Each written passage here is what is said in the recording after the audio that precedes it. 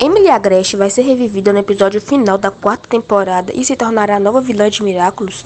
Como nos foi confirmado, Shadomon vai conseguir pegar os Miraculous da Joaninha e do Gato Preto.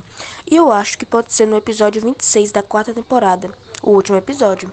Também nos foi confirmado que teremos um novo Shadomorph. E eu também acho que pode ser no episódio 26. Bom, então vamos para a minha teoria.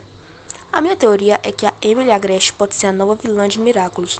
Shadowmoth, como foi confirmado, vai pegar os Miraculous dos nossos heróis principais.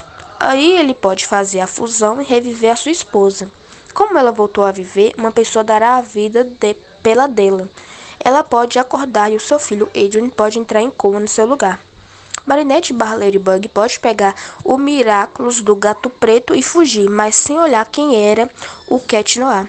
Aí, quando a Emily perceber que o seu filho está em coma por causa do seu marido, né? Porque foi o seu marido que pegou os outros Miraculous e fez a fusão. Aí, por culpa dele, que o filho dele entrou em coma, né? De certa forma. Ela no começo pode ficar com muita raiva do Gabriel Agreste barra Moth e depois entendeu por que ele fez isso.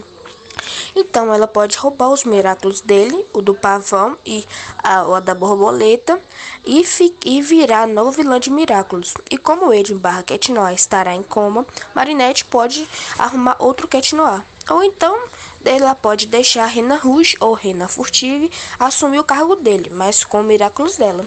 Bom, galera, essa é a minha teoria. Qual é a de vocês? Deixem nos comentários.